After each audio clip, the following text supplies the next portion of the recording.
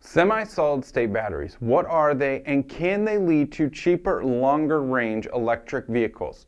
Well, let's find out in today's video. But before I do, I want to remind you about what Pacific Sun Technologies offers. We're a full service energy improvement professional. We specialize in the residential market and we're conveniently located between Los Angeles and San Diego.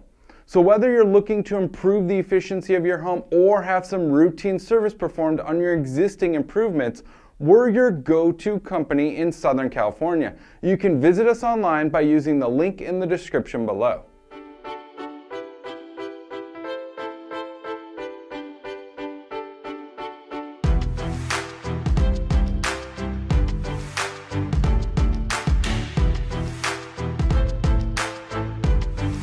Now let's talk semi-solid state batteries and how this really is a race for various manufacturers to create cheaper, longer lasting batteries and it's gotten more interesting lately thanks to 24M, a US Department of Energy funded startup.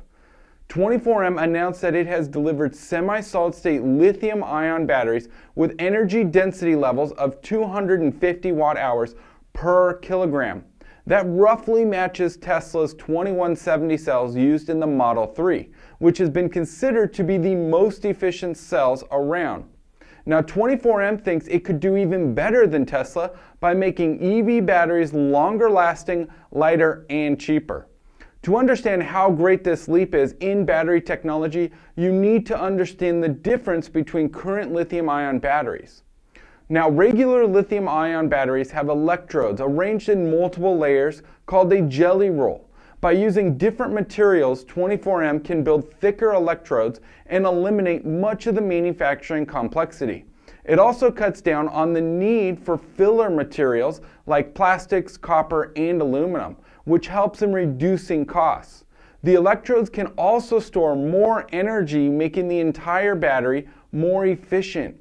24M is funded to the tune of $7 million by the U.S. Department of Energy with the aim of developing cells with a 350 watt hours per kilogram density.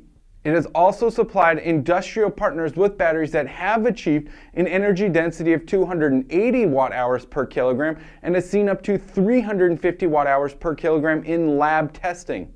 By contrast, Tesla's state of the art 2170 lithium ion cells reportedly have energy densities up to around 257 watt hours per kilogram. It recently announced the acquisition of Maxwell Technologies, which could help it significantly improve its current batteries. Though that deal is not yet closed and probably won't, as many of Maxwell investors are reportedly suing to block the acquisition by Tesla.